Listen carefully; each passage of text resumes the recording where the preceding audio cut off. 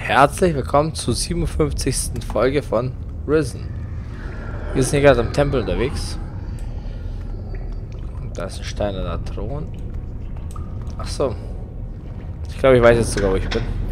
Wieder. Oh, fuck.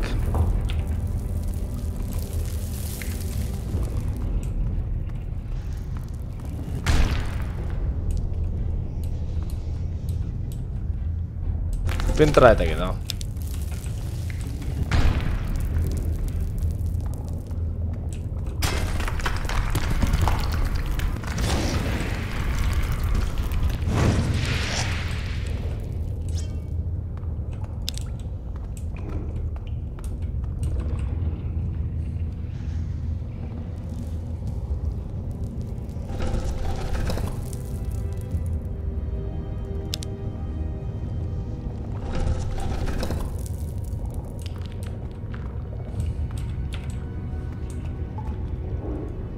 Ja. Und nochmal. Das war der letzte. Ich brauche einen Dietrich. So, ich habe keine Dietriche mehr.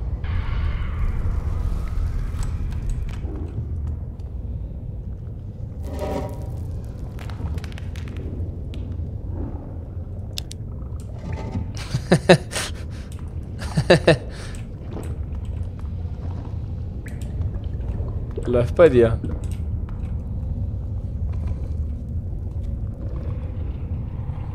Ich habe mir damals Gold geliehen, um äh, schneller fliegen zu lernen.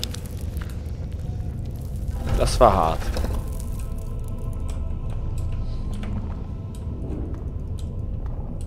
Das war auch teuer.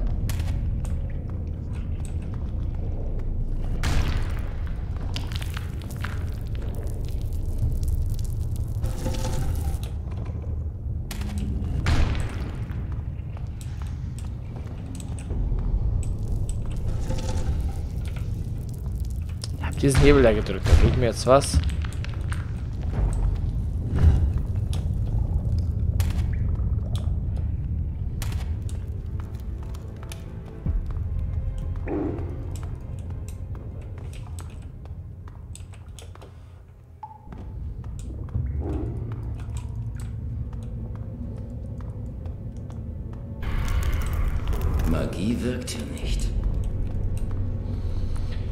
Ja, das war damals alles noch schön und gut. Mittlerweile.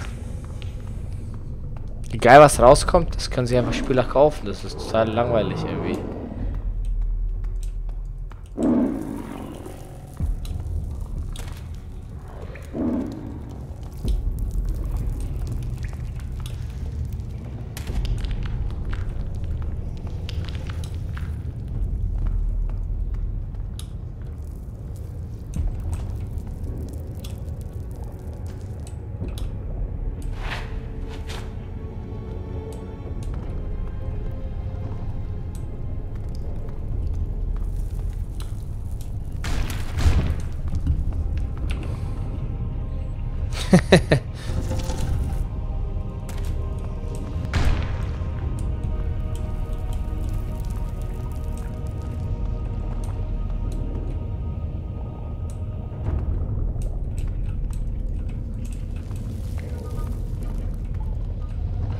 Ja, Dailies konntest du ja Ding.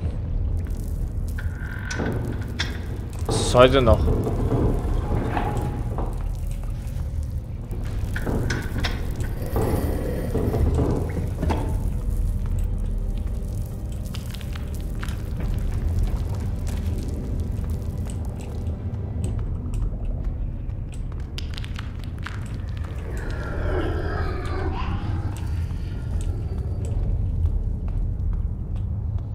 So alte Sachen werden niemals out. Die sind immer gut.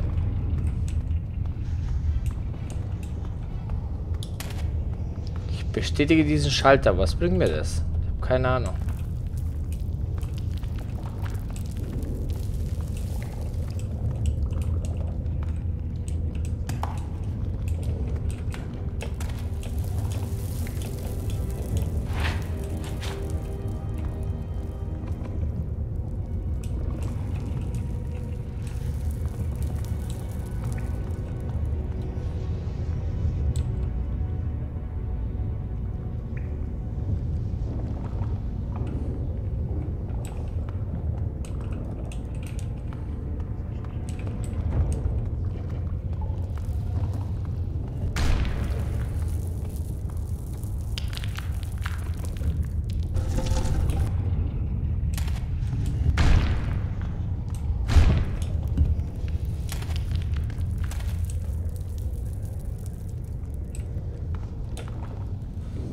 Hm.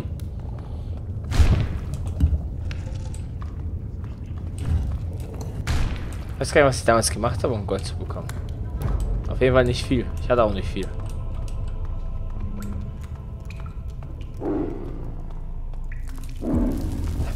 Total ungern gefarmt habe ich. Ich habe nie was gefarmt. Ich wollte immer Sachen verkaufen.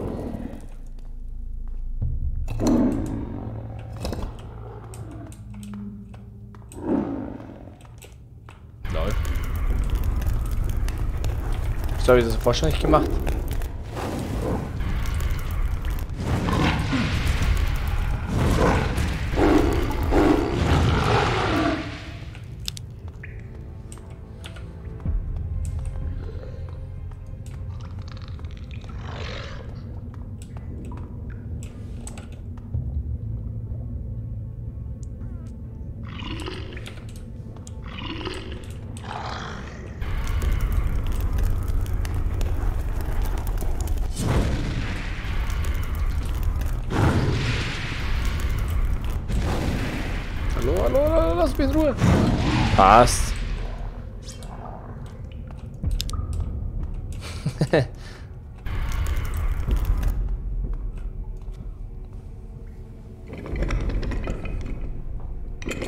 Deswegen hast du mich letztens gesagt, dass ich arm bin.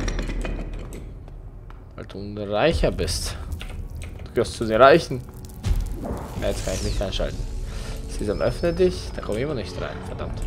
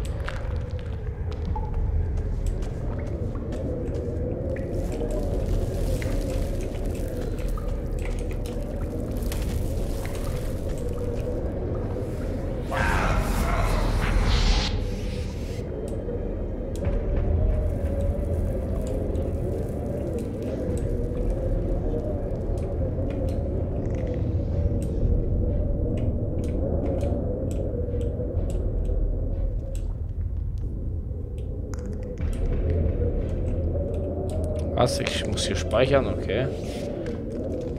Gib ihn.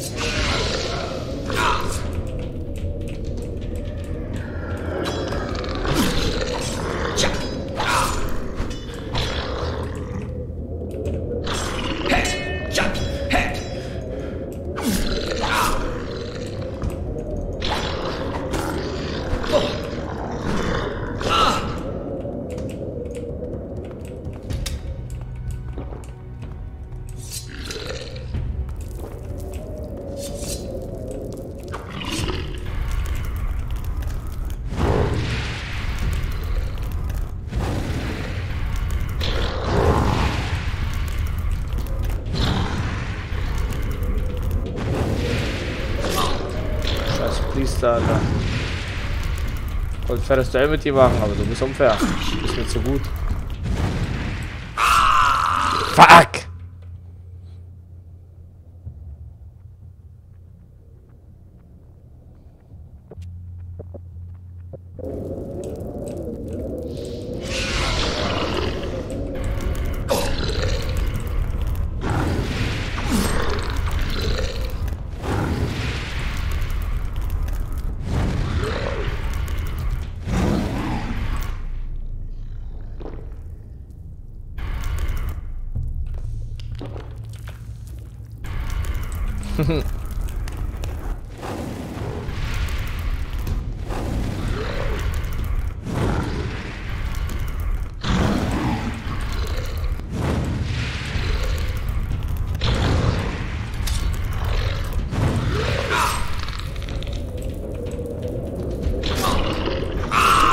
Ach komm.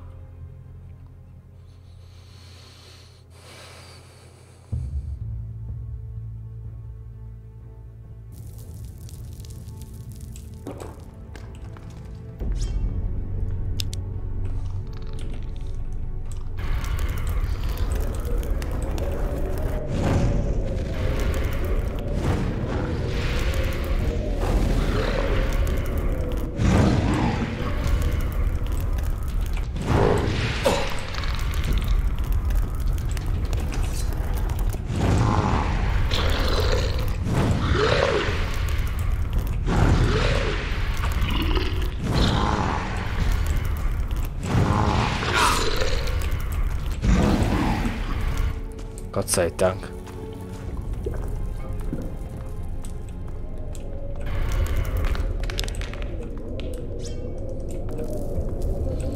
Immer schön alles trinken. Ah, ich habe keine Dietrich, verdammte Scheiße. Wie konnten mir die Dietrich ausgehen? Das hatte ich war noch nie in ein Spiel, das mir irgendwie irgendwann später im Spiel die Dietrich ausgehen. Ich wusste gar nicht, dass das möglich ist.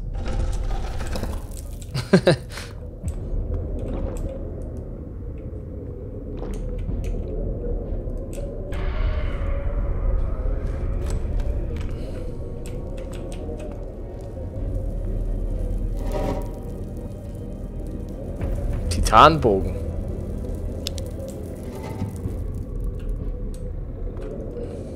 Doch, doch, ich habe alles.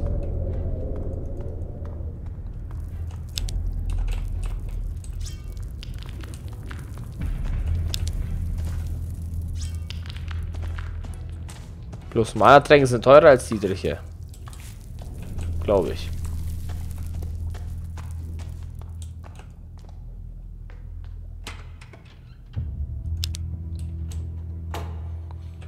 Ich bin doch so ein sparsamer Junge.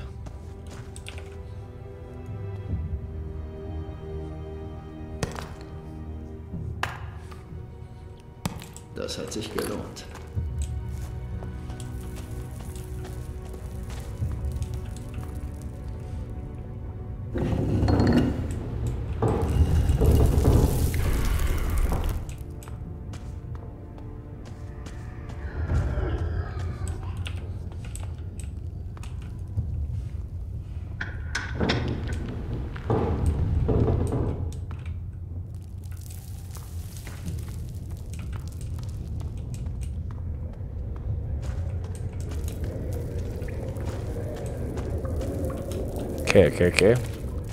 Hier war ich gerade. Passt. Muss ich da lang.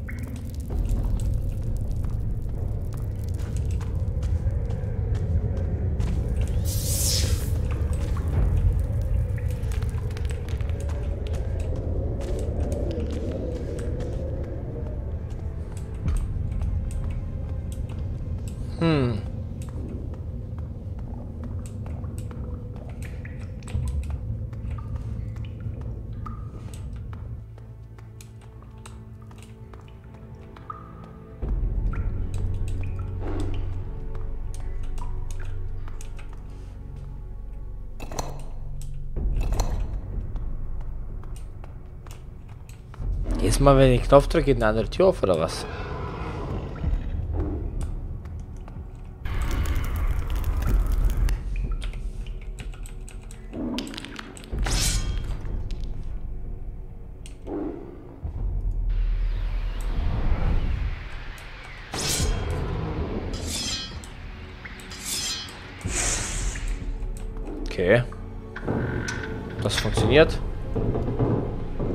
Letzten Mal hat es nicht funktioniert, glaube ich.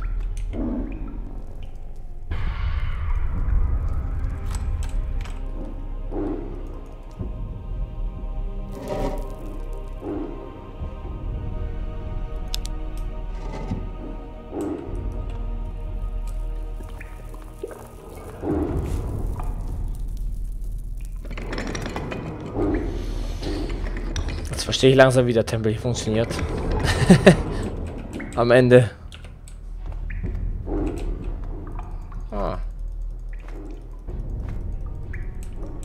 Der hat zwar Bolzen, aber die Armbrust ist weg.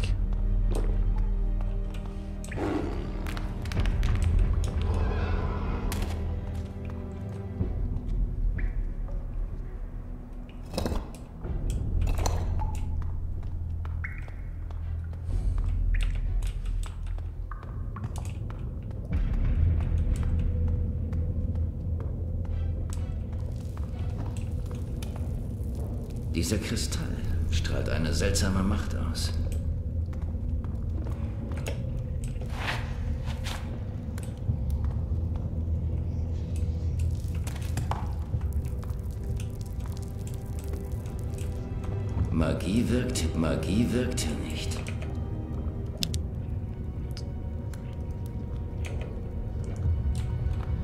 Zum Glück kann ich Bogen schießen. Stell dir ich hätte jetzt keinen Bogen dabei. Fuck.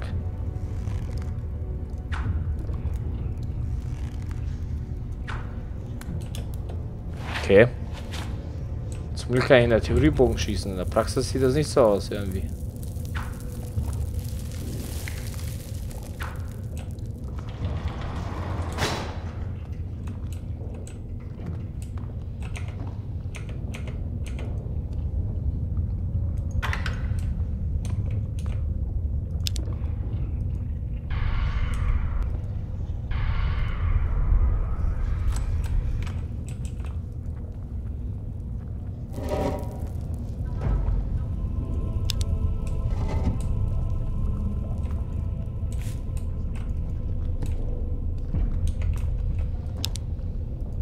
Steht etwas über Magie. Okay. 200 ist das meiste, was man haben kann.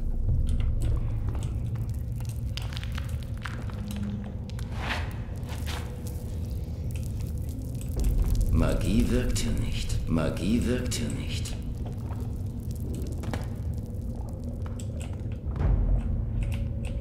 Magie wirkt hier nicht.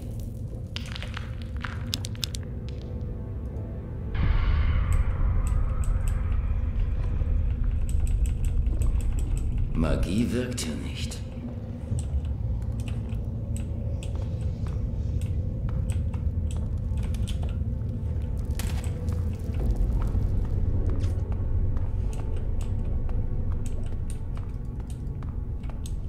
Okay. Ich verstehe. Das verstehe ich gar nichts.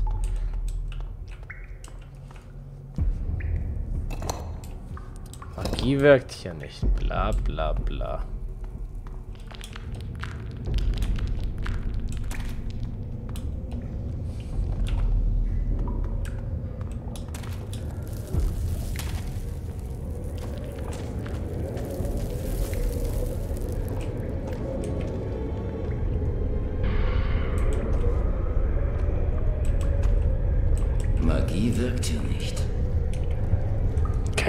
Ich Bogen abschießen, das Ding da?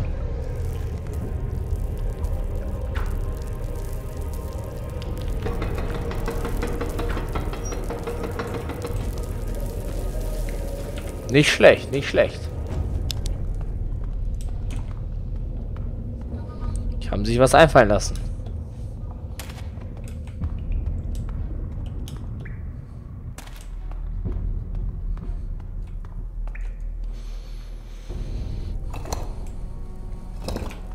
Sowas gefällt mir bei Spielen immer. Wenn ich ein bisschen überlegen muss. Nicht einfach nur Wege entlang laufen.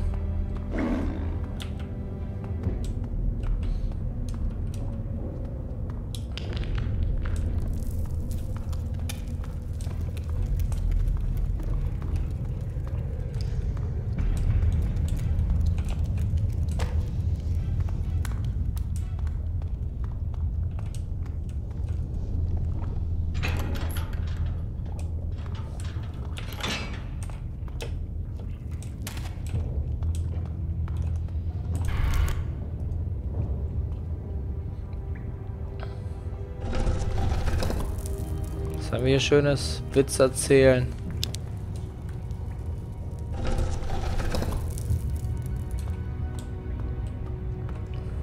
Ein Rubin.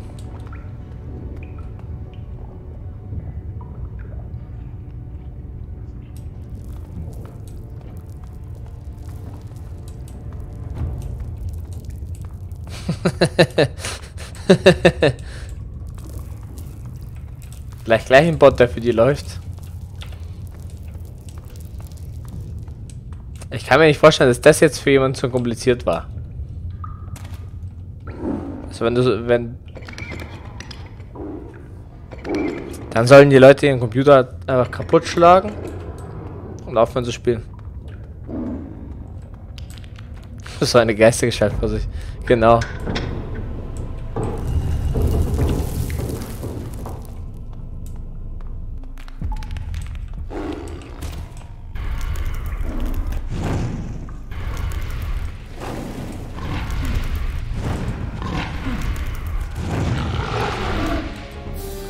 Besten auch mit so Geräuschen. Drücken Sie jetzt A. Wenn du so springen musst oder so.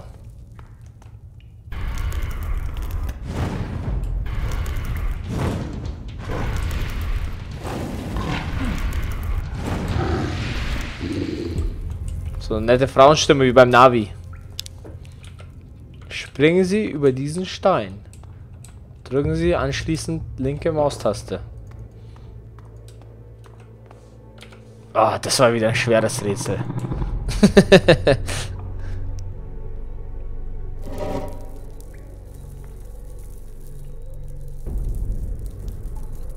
ja, das kenne ich auch, ja. Rüstungsteil, Arm- und Beinplatten von Ghost Rüstung. Das kenne ich tats tatsächlich auch, ja. Dieser Stein sieht brüchig aus. Aber es ist ja nur, wenn du gestorben bist, ich meine, bei Mario.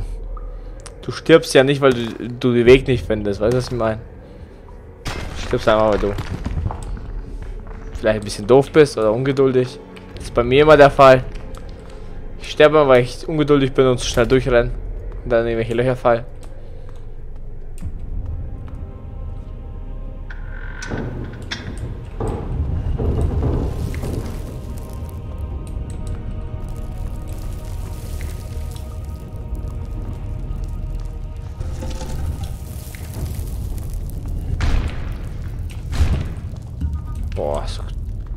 Die Reflexe gesehen.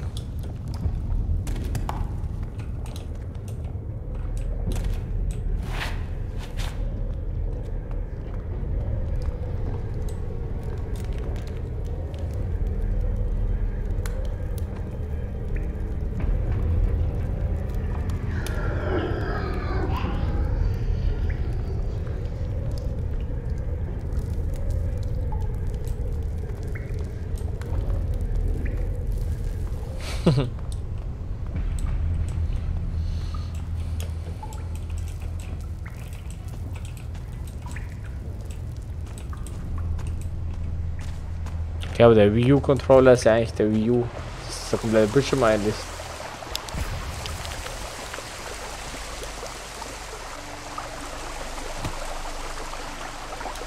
Ist er echt noch Freischaden bekommen? Und jetzt bleibe ich noch hängen oder was? Nee, nee, nee, passt.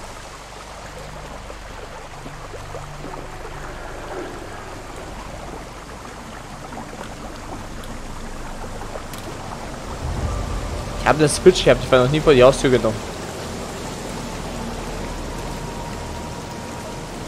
Verdammt. Da bist du ja endlich. Warum hat das denn so lange gedauert? Naja, jetzt bist du ja da. Und? Warst du erfolgreich? Natürlich. Ich habe gefunden, was ich hier an der Westküste gesucht habe. Wirklich? Was ist es denn? Ein Teil des Rüstzeugs eines mächtigen Kriegers. Aus längst vergangenen Tagen. Aha. Und was ist an dem alten Kram so wichtig? Es wird mir hoffentlich gegen das Übel helfen, das aus dem Vulkan auszubrechen versucht. Aber es ist ja nur ein Teil einer Rüstung. Wie willst du das Ding wieder ganz bekommen? Ich werde zu Eldrick, dem Druiden, gehen. Er hat mir schon mal geholfen, etwas zu reparieren. So, so. Eldrick. Naja, du scheinst ja zu wissen, was du tust.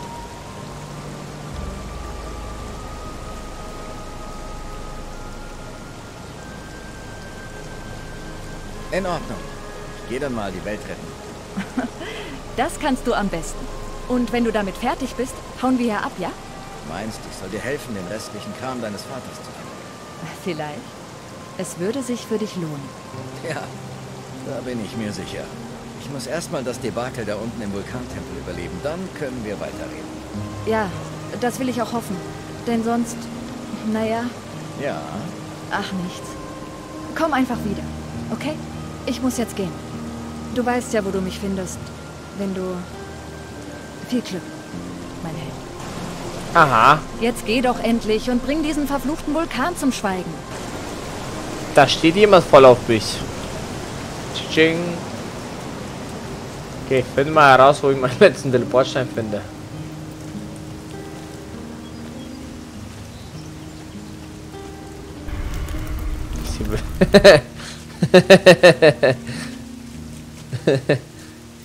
du meinst, sie will den Titanstab mehr sehen? Etwas Feuer spüren.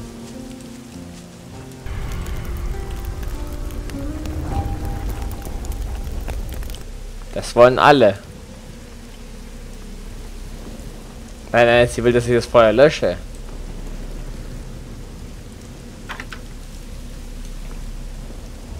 Das in ihr brennt.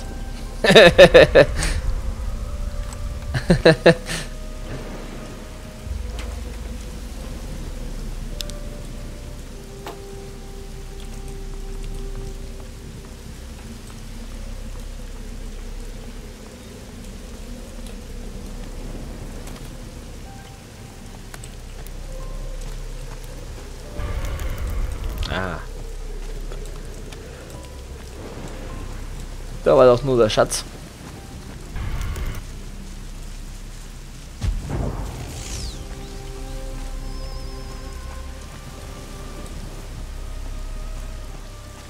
Hoffe, da unten am Strand ist der letzte Teleportstein.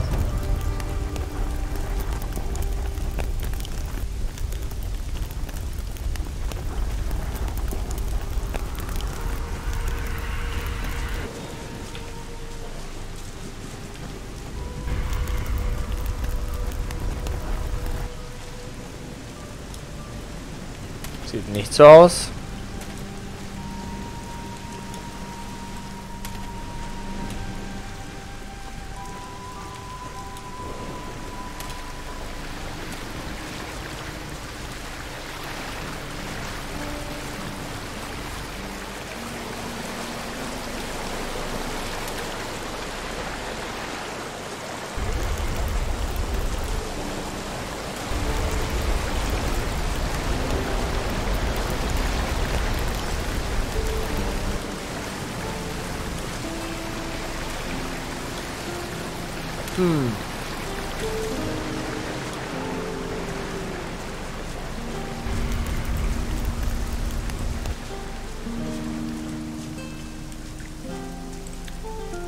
Teleportsteine. Wie gesagt, ich habe hier drei.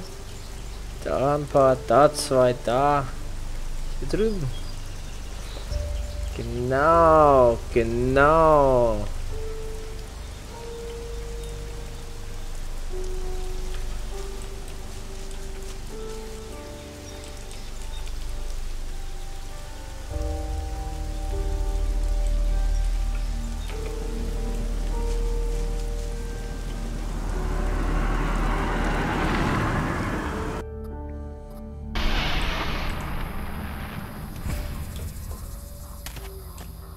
Soll ich mal schmieden lernen?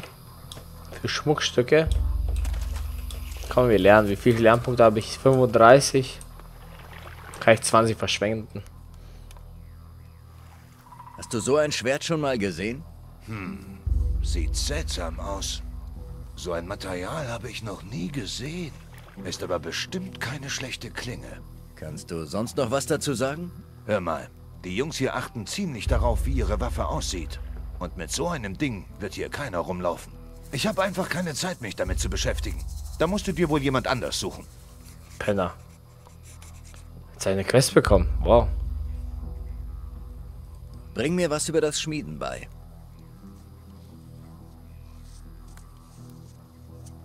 Kannst Einheitsschwerter schmieden und einfach Schmuckstücke herstellen. Mach mal. Zeig mir, wie man schmiedet. Zunächst einmal werde ich dir zeigen, wie du Einhandschwerter schmiedest. Um ein Schwert zu schmieden, brauchst du einen Rohling. Zuerst machst du den Rohling an der Esse heiß. Wenn er glüht und der Stahl weich genug ist, kannst du ihn am Amboss zu einer Klinge zurechthauen. Dann kühlst du die Klinge ab, damit sie hart wird. Anschließend schleifst du sie am Schleifstein. Das ist alles? Du kannst auch einfache magische Schmuckstücke herstellen. Dafür brauchst du einen Goldschmiedetisch. Magische Stücke beziehen ihre Kraft aus dem Edelstein, den du einsetzt. Die Kunst besteht darin, den Edelstein in Gold einzufassen, um daraus einen Ring oder ein Amulett herzustellen. Schmieden 2, was kann ich dann? Deine Fertigkeit im Schmieden von Waffen und Schmuckstücken.